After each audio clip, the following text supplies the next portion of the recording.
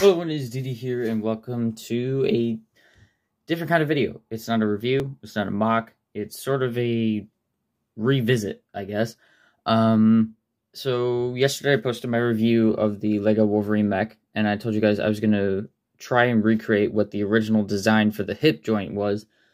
Well, I did my best, because I don't exactly know how they were going to do it, but I took out this entire section here, uh, excuse me, and replaced it with these down here.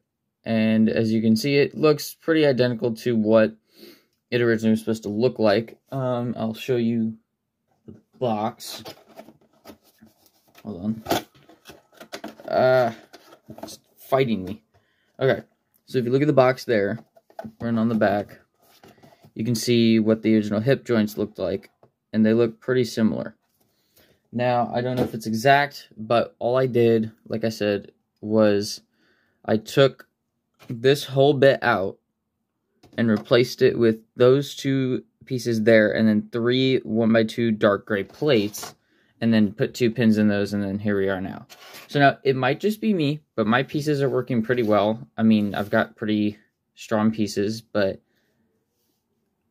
I, I don't I don't know. I mean, I, I it was for they canceled them and then redid them for stability issues, but I'm not really seeing any stability issues with this design. I mean, obviously, yeah, like okay, if you wanted to make him walk, you know, he's walking, he's walking, he's walking, and then if you put his claws up, he's gonna fall over. So I mean, I guess if the pieces were brand new, then they wouldn't. Then I mean, it wouldn't.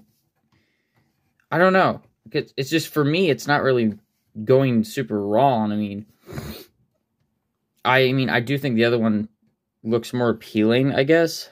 Um, well, honestly, okay, my honest opinion, this looks more appealing to me because it just shows like, oh, there's a bit more of a me different mechanic to it, and the legs are even.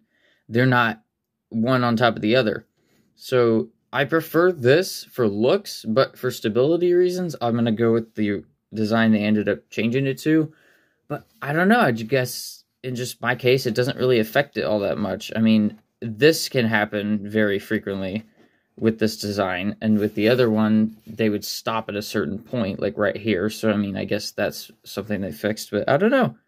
This is just a really short, quick video of a redesign. Like, oh, well, I guess it sort of worked out for me. I, I, I don't really know what else to say, but um, yeah, other than if you guys enjoyed the video, please drop a like, leave a comment down below. Do you think they should have stuck with the original design, or do you prefer the new one?